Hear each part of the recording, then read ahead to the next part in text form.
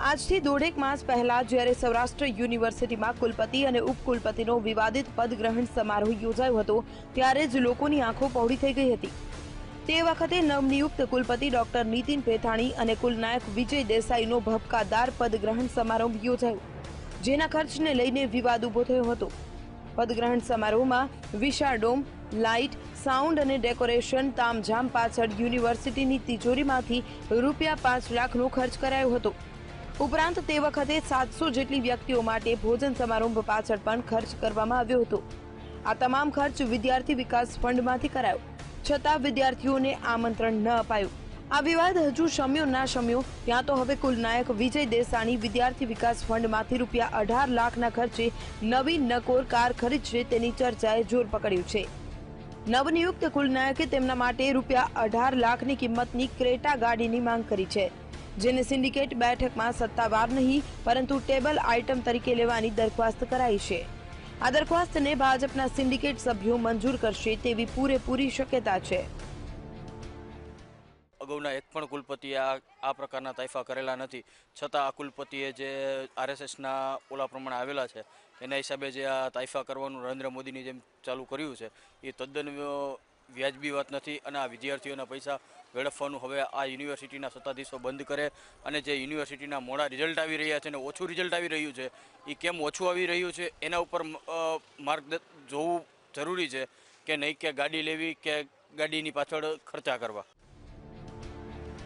ઉલ્લેખનીય છે કે સૌરાષ્ટ્ર યુનિવર્સિટીનું બીકોમ સેમેસ્ટર ત્રણનું સત્યાવીસ ટકા અને સેમેસ્ટર પાંચનું પિસ્તાળીસ ટકા પરિણામ આવ્યું હતું. યુનિવર્સિટીના સત્તાધીશો જે રીતે ભપકાઓ કરે છે, તે જોતા આ પરિણામ ઘણું ફીક્કું કહેવાય. છતાં કુલપતિ અને કુલનાયકને શાનદાર ગાડીના ધખારા છે. વિદ્યાર્થીઓના ઉત્કર્ષ માટે વિદ્યાર્થીઓને કેન્દ્ર સ્થાને રાખી શિક્ષણની ગરિમા વધારવા અને પદવીની વિશ્વસનીયતા વધારવાને બદલે યુનિવર્સિટીના સત્તાધીશો હવે વૈભવી સુવિધા મેળવવા જાણે અધીરા બની ગયા હોય, તેમ તમામ ચીજવસ્તુઓ નવી ખરીદવાનો આગ્રહ રાખે છે.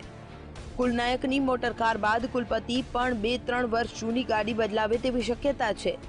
કોઈ ઉહાપહુ ન થાય તે માટે પ્રથમ કુલનાયકને નવી નકોર ગાડી અપાવવી અને બાદમાં કુલપતિની સત્તાવાર મોટર કારને વેચીને નવી નકોર ગાડી ખરીદવાની હિલચાલ શરૂ કરી દેવામાં આવી છે.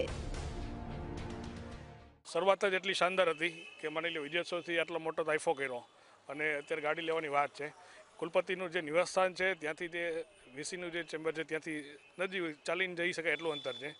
અને અત્યારથી જ ગાડીઓના ખર્ચા ને આ બધું જે કરવામાં આવે છે, એનાથી જે યુનિવર્સિટીનો જે ગ્રેડ છે, જે અત્યારે આપણો ગ્રેડ ગ્રેડ સુધારવાનો નથી યુનિવર્સિટીનો ગ્રેડ સુધારવા માટેનું કામ કરવું જોઈએ, નહીં કે આવો ખોટા ખર્ચા કરવા જોઈએ.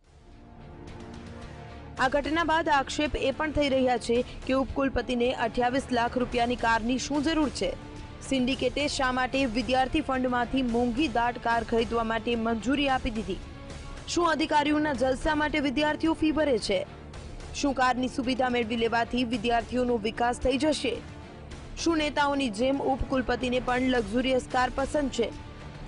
શું સૌરાષ્ટ્ર યુનિવર્સિટીમાં કુલપતિ, ઉપકુલપતિને સુવિધા પૂરી પાડવા માટે વિદ્યાર્થીઓ પાસેથી તગડી ફી વસૂલાય છે?